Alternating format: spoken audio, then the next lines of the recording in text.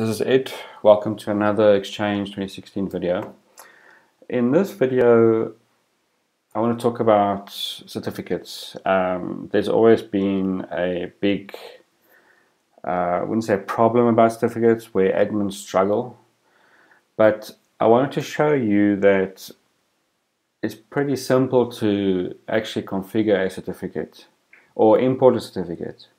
Now, generally what I do is um, if I have a wildcard, um, most places I use wildcard because it's cheaper and you can actually do a lot more than just having a SAN cert. Um, if you're an organization that can't afford a wildcard or there's no need for it, then you would use a SAN cert with your names on it, your auto-discover and your um, URL, so mail.domain.com or webmail.domain.com, etc. Now, generally what you do is, um, if you want to import a certificate, you can do it via the Exchange Admin Center, but what I've found is um, if you head over to IIS and you expand, right, so if you see my server, I'm logged in, there's a server certificates page. If you double click this, you can go and import. Now this is going to import a PFX file. So you would obviously point it to where you want to, um, where it's stored, sorry, and then you'd put in the password and then you click OK and you'll have your certificate listed here.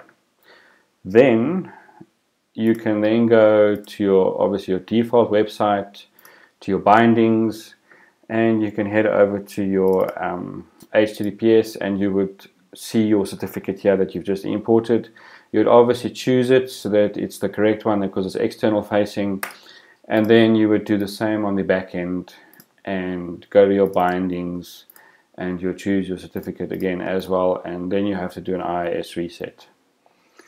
That is pretty much how straightforward it is to import a certificate. Now you can also do it from here so you could also import a certificate or you can export it. So if you are if you already have a certificate on here, you can then export it and import it on the next server. So I want to show you on the import side. If you wanted to import a certificate, you've basically what I found is if you choose localhost c dollar and then you share that folder so big folder one slash cert.pfx as an example.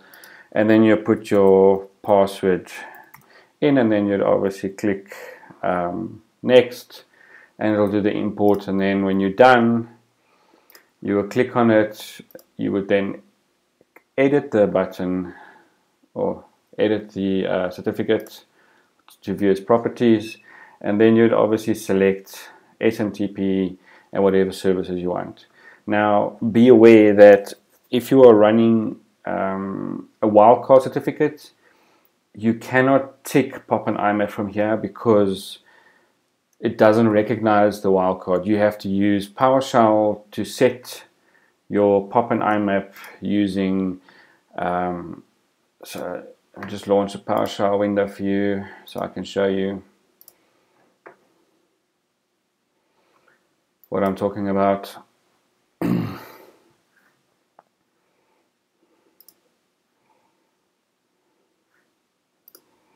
Just waiting for that to load.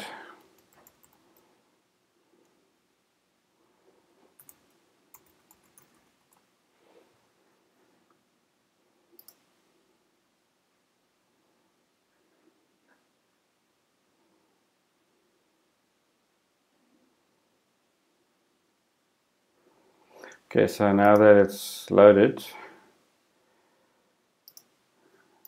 you can basically go type get um, pop settings minus server.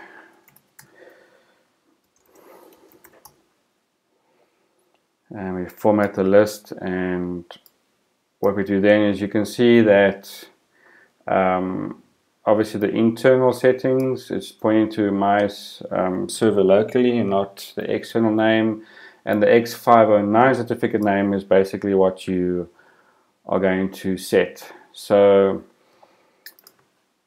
if we clear the screen, you would go set pop settings minus server ex 2016 a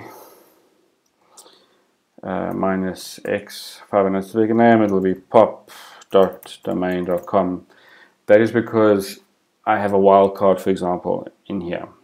And this is how I would do it. Now, the same would apply if you're doing IMAP settings you would use set dash IMAP settings, server, the name, and imap.domain.com, for example. That's if you have a wildcard.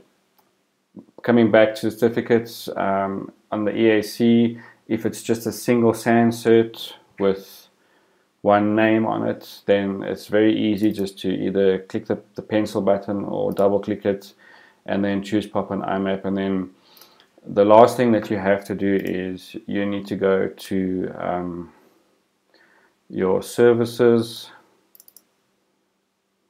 for your certificates to you know, first of all bind um, and secondly you need to set you can see pop and IMAP are set to manual. You need to change them to automatic and start them and then that way, once you've done a reboot after your configuration or an IIS reset um, and installed your services, then it should be responding on the name it or on the name that you've set. And if you look in the event log, you'll see that it'll say IMAP is accepting connections over whatever um, authentication method you've set. Um, if you have a problem with your certificate, so even though you've imported it might come up here with an invalid status or revocation check failed. Um, then you need to make sure that you either get a new copy of the cert or if a revocation failed means that it can't go out to the internet to check that it's a valid cert, can't check the chain. You need to either then check your connection, maybe you're behind a proxy, it's blocking the connection, maybe your gateway doesn't allow it, where you need to then ask the admins to allow access to authenticate so that it can do its checks. And that is certificates in a nutshell. Thank you for watching.